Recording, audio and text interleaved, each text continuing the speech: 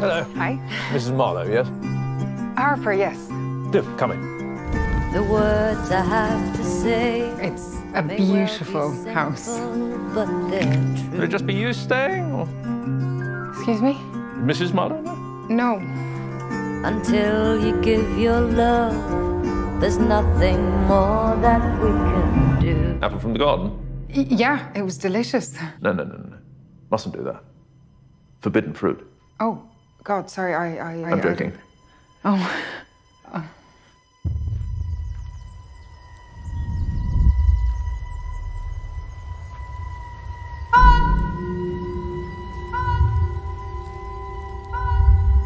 You're tormented. It feels more like. Haunted. Yeah. Something happened. My husband went upstairs to our balcony and let himself go. You must wonder why you drove him to it. Why? I didn't drive him to it. I thought it'd be true. But if you had given him the chance to apologize, he'd still be alive. What?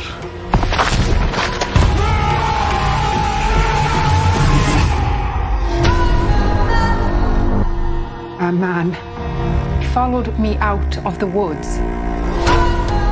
He was stalking me. What makes you say that? I saw him twice. Twice. I don't know if he saw you once.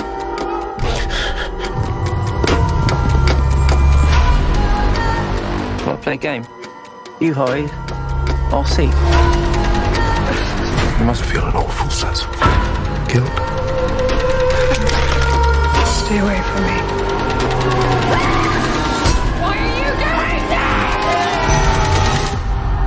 What are you?